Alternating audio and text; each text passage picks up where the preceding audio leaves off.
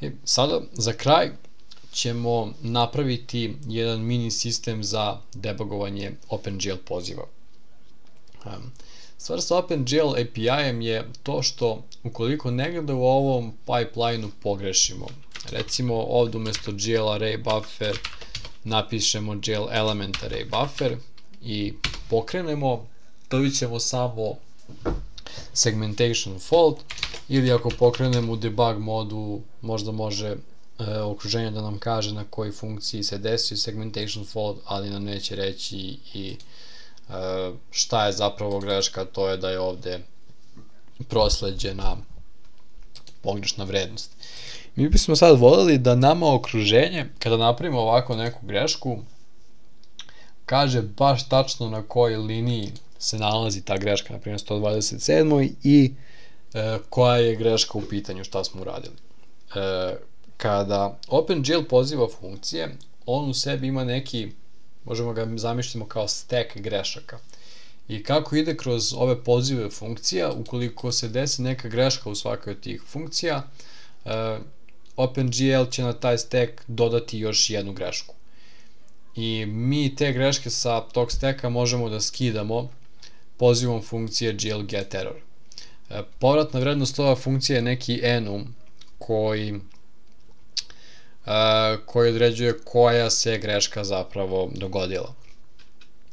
Sada, ako bi mi ovde napisali gl e, get error, mi nemamo nikakav način da znamo samo iz ovoga da se greška desila baš u ovoj funkciji, jer je neka od prethodnih funkcija mogla da generiše tu grešku i da je stavi na stack, i onda mi ne možemo da znamo da li je to greška za ovu funkciju ili bilo koji od prethodnih. Tako da bismo znali sasigurno da je se greška desila baš u ovoj funkciji, bi trebalo e, da da pre toga očistimo sve greške. I možemo ih očistiti tako što ćemo e, pozvati glGetError dokle god ne vrati ovu specijalnu vrednost da nema greške. I kako pozivamo glGetError ovoj petlji i skidamo jednu po jednu grešku sa, uh, sa, sa ovog steka grešaka kada budemo došli do GL no error nastavit ćemo dalje sa izvršavanjem i taj stek grešaka će biti prazan. I onda ako ova funkcija napravi neke greške, ovo glGetError će to detektovati i znaćemo da se greška desila baš u ovoj funkciji. Međutim, pisati ovo ovako za svaku funkciju je potpuno nepraktično jer će nam veći deo koda biti obrada grešaka, a ne sam kod. Pa bismo mi volili da ovo automatizujemo koliko toliko, tako da, na primjer, ako ovaj poziv funkcije omotamo u neki makro GL call i ukoliko zaista dođe do greške konkretno u ovoj funkciji, da okruženje odmah tu zaustavi izvršavanje i da nam pokaže da je greška u 128. liniji i ukoliko zna koja je tačna da nam ispiše neki od ovih stringova. Pa, ajde sad i da implementiramo taj jail call makro. E, počet ćemo prvo sa samim makrom, e, jail call, uzima neku funkciju i samo je ovaj, pozove tu kako jeste. Pošto smo mi ovde prosledili celokupnu funkciju i pozvali je, kada se ovaj makro bude proširio, on će se samo proširiti u, ovaj, u, poziv, u sam poziv. Pre ovoga treba sad da očistimo greške da bismo znali da je se greška desila baš u ovoj funkciji koju pozivamo u makro. Pa ćemo definisati eh, gl clear error koja će pozivati ovaj jail get error dokle god ne stigne do kraja, to jest dokle god ne isprazni sve greške. I pre nego što pozovemo ovo x u makro, pozovemo gl clear error da tu grešku i očisti. Da očisti sve greške pre, pre ovog poziva x. Zatim bismo želeli da proverimo da li, se, da li je došlo do greške. I rećemo ovako nešto. E, osiguraj da je poziv ove prethodne funkcije uspeo. Želimo sada da napravimo još jedan makro koji ukoliko je poziv funkcije x uspeo, ništa samo će nastaviti dalje, ali ukoliko je došlo do greške u pozivu ove funkcije x, ovaj makro bi trebalo da zaustavi izvršavanje. Sad, jedna instrukcija koja ne abortira izvršavanje, nego ga samo zaustavlja tu gde jeste, je instrukcija built-in trap. Pa ćemo nju iskoristiti. Definišemo assert makro. Ukoliko je ovaj uslov koji prosledimo false, zaustavi izvršavanje. Šta ovo znači? Ako jail call vrati false, to znači da poziv ove funkcije nije uspeo. Pošto će ovo x biti false, ceo ovaj izraz će biti true, pa će se izvršavanje ovog programa zaustaviti na ovoj instrukciji built-in trap. Sada treba da implementiramo ovu funkciju glocall. Rekli smo da će vraćati true ili false. Pa, ukoliko nema greške,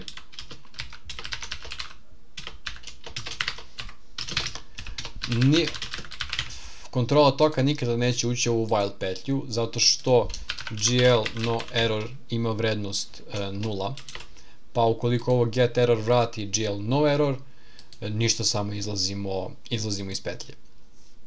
Ali ukoliko ima greške, e, onda svi ovi enum i GL invalid enum, invalid e, value i invalid operation imaju ne nula vrednost pa ćemo mi da je ispišemo na standardni izlaz za greške. Reći ćemo da je došlo do greške u OpenGL-u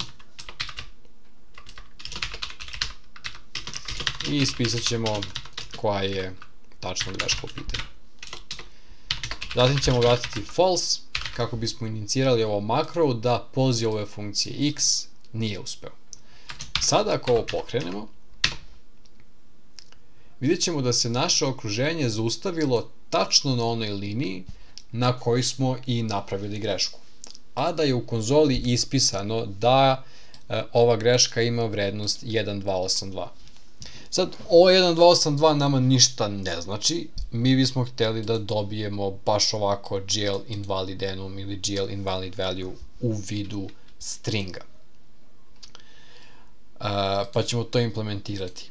Sada C++ nema još uvek, nažalost, automatsku konverziju iz enuma u string, pa tu funkciju moramo da napišemo sami.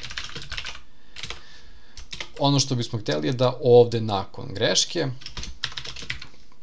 stoji, na primjer, e, poruka e, gl error to string koja će ovaj enum konvertovati u ekvivalentan string za grešku pa i to da implementiram.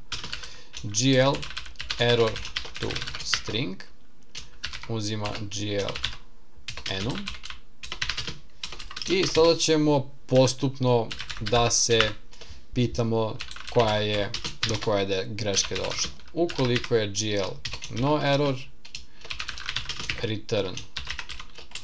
Uh, gl no error, ukoliko je, da vidimo, gl invalid inam, return gl invalid enum, ukoliko je gl invalid value, gl invalid value, naredni nam je invalid operation,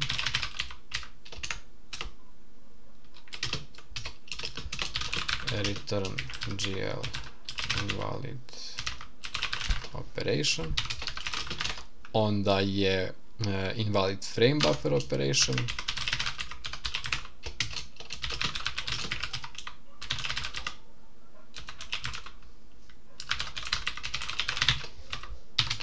i na kraju je gl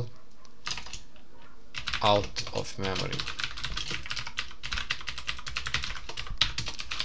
U suprotnom, e, možemo ponovo da zaustavimo i ovdje izvršavanje ili da kažemo e, no such error nema takve greške. Ukoliko se slučajno nekim ovo gl get uh, error to string pozove na mestu gde se ne prosleđuje greška nego neka druga vrednost.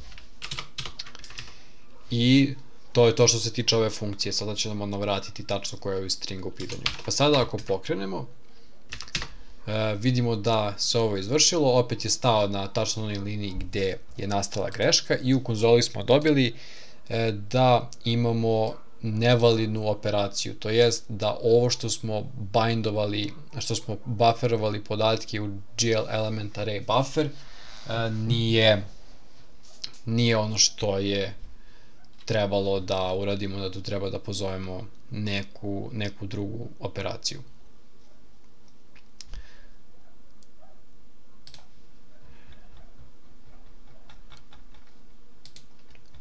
Sada, da bismo još malo napredili ovaj sistem, mogli bismo ovde da dodamo i na tačno na kojoj u kom fajlu je došlo do greške, na kojoj liniji i tačno koja je e, funkcija bila pozvana. Pa, e, recimo, do greške je došlo u ovom fajlu,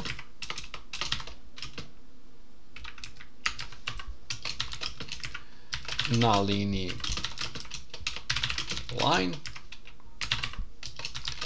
i pokušali smo da pozovemo ovaj izraz call. Sada da bismo dobili ovaj izraz call i da bismo sve ovo popunili, treba ovde u ovom makru da navedemo sve te stvari. E, postoje ugrađeni makroji unutar samog kompajlera koji mogu da nam daju ove informacije. E, makro dupla crta file, dupla crta nam govori u kom se fajlu nalazi, u kom je fajlu pozvan opšte ekspanzija ovog makroa, uh, line u kojoj smo trenutno liniji i da bismo ceo ovaj izraz koji smo prosledili na poziv konvertovali u string, samo stavimo tarabu ispred njega i napišemo x. I sada ako pozovemo opet uh, debug, vidjet ćemo da smo u konzoli dobili mnogo detaljniju poruku da je došlo do nevalidne operacije e, u failu main.cpp na 161. liniji i da je poziv bio GL buffer data sa svim prosleđenim argumentima. Sad, e, ovo opet nije idealan sistem za debugovanje, ali na početku za ove naše primere biće dovoljno dobar uh, da pronađemo neki od ovih osnovnih grešaka koje budemo, koje budemo pravili. Još jedna stvar ostaje, da bismo vidjeli ukoliko dođe do više grešaka u samom pozivu funkcije, e, trebalo bi i sve da ih prijavimo. I da bismo to uradili, samo ćemo malo da promenimo e, funkciju koja vraća grešku, jer ovde je ona uvek vraćala false čim najđe na jednu grešku, što znači da kada ovo GL get error vrati grešku, ukoliko ih ima dve, vraća samo onu poslednju i onda ćemo se zaustaviti. A mi bismo hteli da nam on ispiše sve greške i tek ona da se zaustavi. To je samo malo algoritamska promjena. Reći ćemo da je ovaj poziv e, po defaultu uspeo, a ako se uđe u ovu petlju znači da poziv nije uspeo i samo ćemo ovo success staviti na false. Ovo će učiniti da kada uđemo u ovu petlju i budemo vadili jednu po jednu grešku, da ne izađemo odmah ovde na prvoj greš, grešci, već da se izvrtimo u ovoj petlji dokle god ima grešaka, ako kroz nju prođemo postavimo da je success false i na kraju samo vratimo da li je do uspeha došlo ili ne. I sada ukoliko dođe do više grešaka, uh, ovaj naš sistem za debugovanje će ih sve ispisati, a za ovaj naš slučaj u ovom greški eh, radi normal.